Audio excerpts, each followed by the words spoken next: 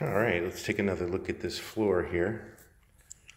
Uh, I got to a point where I had to stop again and brace it up because, uh, you know, these boards are not perfectly straight the way they're milled and stuff. So had some bowing and, uh, you know, some gaps. So I had to brace them up, put some pressure on them, close those gaps up, and then I've got to let it uh, gotta let the glue set up, but this floor is looking really nice.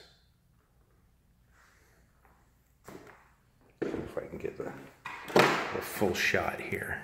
Mm, there you go.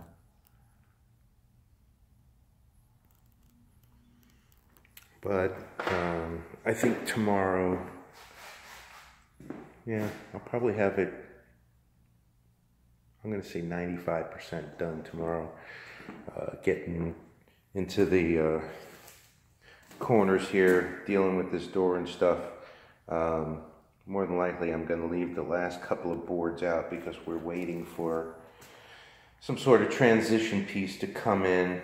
And I got some, you know, some zigzag corners I got to cut around and stuff. So I'll probably get up to that baseboard right there and then um,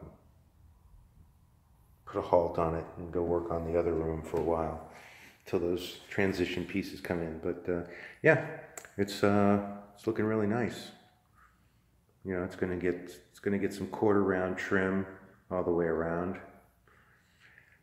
and uh, that'll do it for today.